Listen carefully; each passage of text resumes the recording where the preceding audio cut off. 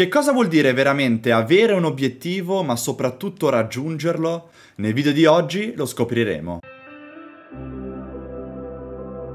Amici appassionati di psicologia, bentornati sul mio canale, torno dopo un sacco di tempo finalmente a fare un nuovo video e oggi parliamo di che cos'è un obiettivo ma soprattutto che cosa vuol dire raggiungerlo, perché si sente oggi parlare molto di obiettivi, di fissarsi degli obiettivi, raggiungere degli obiettivi, ma questi obiettivi sono spesso definiti in modo poco chiaro, fumoso, poco tangibile, poco calabile a terra. Ed è una cosa non da poco perché le conseguenze di non avere un obiettivo chiaro impattano direttamente sulla nostra motivazione. Gli obiettivi sono eh, il vero motore della nostra motivazione perché ci fanno partire da un punto A a un punto B e quindi durante il raggiungimento di un obiettivo noi abbiamo la possibilità di alimentare la nostra motivazione e di essere anche più efficienti e più eh, produttivi. E quindi come sentite già da questi termini prendo spunto eh, dalla psicologia delle organizzazioni per parlarvi di obiettivi anche se oggi cercherò di parlare di qualcosa di psicologico che può servire a tutti perché gli obiettivi trattati nella psicologia delle organizzazioni riguardano soprattutto gli obiettivi lavorativi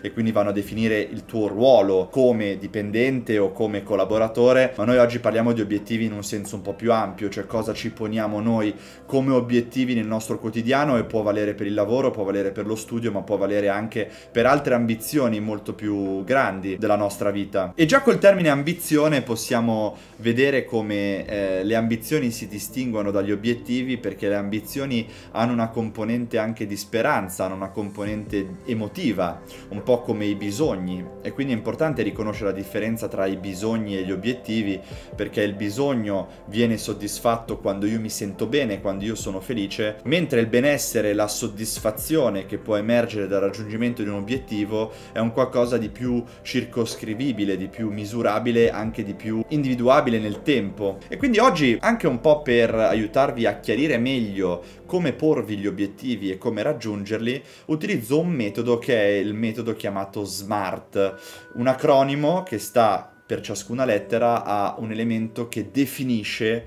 quello che è un obiettivo chiaro, un obiettivo eh, utile, un obiettivo efficace da potersi porre. E partendo dalla S dell'acronimo SMART, S sta per specifico. Un obiettivo per essere raggiungibile in modo efficace deve essere specifico e cioè deve essere ben chiaro, definito, con dei confini ben precisi, non deve lasciare spazio a delle ambiguità che potrebbero portarci lungo il percorso a crearci eh, deviazioni, altre strade che poi ci fanno perdere rispetto a quello che è la direzione per raggiungere l'obiettivo che ci siamo posti. La M sta invece per misurabile. Deve essere possibile misurare i progressi verso il raggiungimento del nostro obiettivo, anche per poter vedere gli step intermedi e poter valutare se le azioni che stiamo mettendo in atto sono proficue, ci stanno portando veramente nella direzione giusta. La A in realtà sta per achievable, ma noi tradurremo con raggiungibile, nel senso che un obiettivo deve poter essere raggiunto. E questo è molto importante perché gli obiettivi poco ambiziosi sono troppo facilmente raggiungibili e quindi non ci danno la giusta motivazione e ci spengono, ma obiettivi irraggiungibili, obiettivi esagerati, ci creano un senso di frustrazione, di smarrimento e ci abbattono e quindi hanno un effetto negativo sulla nostra motivazione. Quindi, nonostante oggi si pensi che l'obiettivo deve essere grande, deve essere ehm, difficilmente raggiungibile, io sono d'accordo che si possa sognare in grande, ma all'interno di quel sogno vanno invece individuati degli obiettivi raggiungibili, perché sono quelli che ci tengono poi veramente coinvolti, motivati e ci danno anche un senso di autoefficacia. La R dell'acronimo SMART sta invece per rilevante. È inutile correre dietro a obiettivi che non sono importanti, che non sono rilevanti.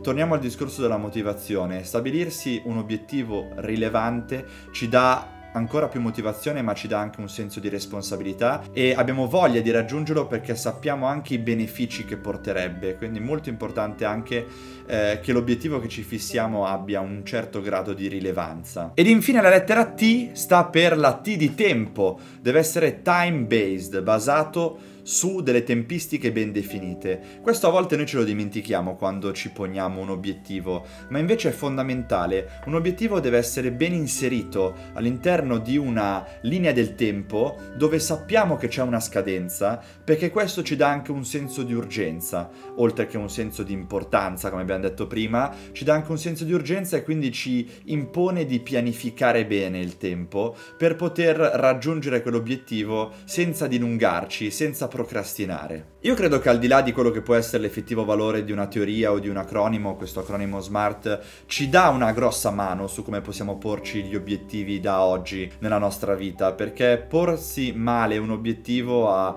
veramente degli effetti negativi sul nostro umore, sulla nostra motivazione, anche sulla nostra efficienza eh, quando lavoriamo, quando studiamo e lo notiamo tutti nel quotidiano. Abbiamo toccato prima eh, argomenti come la motivazione, la procrastinazione, eh, l'organizzazione del tempo e sono tutte eh, competenze importanti che ci aiutano non solo nel nostro grado di performance, ma ci aiutano anche a stare meglio con noi stessi perché ci sentiamo più di valore, più importanti, più capaci, meno abbandonati alle nostre paure, meno abbandonati eh, al, ai nostri bisogni ai nostri desideri realizzabili che poi ci rendono persone critiche, autocritiche e quindi secondo me è importante sapersi porre bene un obiettivo. Oggi addirittura accanto all'acronimo SMART si parla dell'approccio smarter agli obiettivi, quindi ancora più smart degli obiettivi di prima, dove la E e la R stanno per evaluated, quindi valutato,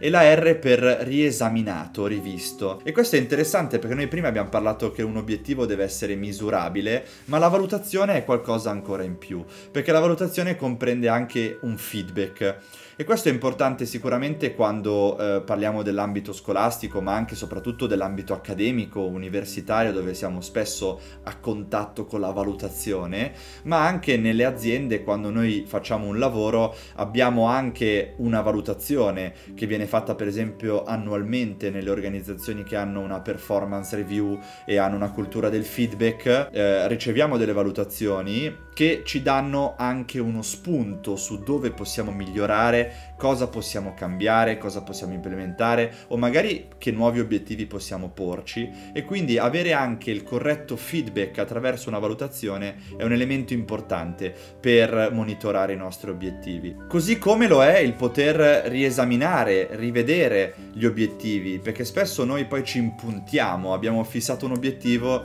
e deve essere quello, però se le nostre valutazioni e anche tutti gli altri elementi che abbiamo visto nell'acronimo di prima eh, ci portano a vedere che l'obiettivo non è corretto per noi oppure nel tempo è cambiato, non è più necessario inseguire quell'obiettivo, allora dobbiamo avere anche la possibilità e il coraggio di riesaminarlo, di rivederlo ed eventualmente di cambiarlo. E così vi ho aggiunto anche le ultime due lettere a questo acronimo SMARTER che ci dà un'idea un po' più chiara di che cosa vuol dire porsi gli obiettivi in modo corretto e come anche guidare verso il loro raggiungimento. Ovviamente attendo eh, di leggere i vostri commenti per sapere se avete degli obiettivi, quali sono, come li state raggiungendo, se avete utilizzato magari alcune di queste riflessioni, di queste tecniche per pianificare bene i vostri obiettivi. Vi chiedo anche di lasciare un mi piace a questo video e di iscrivervi e noi ci vediamo presto con un nuovo contenuto sempre su questo canale.